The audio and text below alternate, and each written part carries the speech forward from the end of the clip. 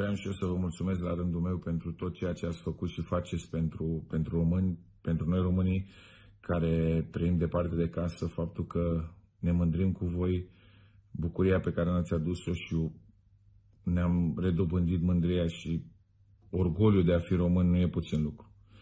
Um, pe lângă rezultatele pe care, pe care le-ați uh, realizat, cred eu că voi ați redobândit demnitatea fotbalului românesc și cred eu că ăsta e cel mai important lucru.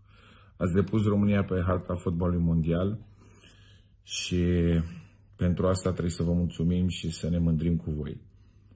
Văzându-vă, urmărindu-vă în toată campania asta, uh, m-am gândit că ați făcut lucruri extraordinare, însă în același timp m-am gândit că este doar o mică parte din ceea ce puteți face voi în viitor. Am văzut unitatea voastră, curajul vostru, personalitatea voastră și cred că lucrurile astea vor duce mai departe. Trebuie să aveți încredere în voi, uh, nu aveți nimic de pierdut, aveți numai de câștigat, aveți încredere în Mirel, în oamenii de lângă voi, vă, împreună veți face lucruri extraordinare. Sunt convins de lucrul ăsta. Mm, suntem alături de voi, suntem cu sufletul alături de voi. Uh, nu uitați că aveți 20 de milioane de inimi de români în piepturile voastre când intrați în teren. Faceți-le să vibreze, faceți-le să se bucure.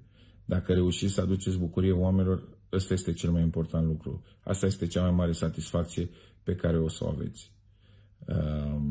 Vă urez multă baftă, sunt cu sufletul alături de voi. Doamne ajută!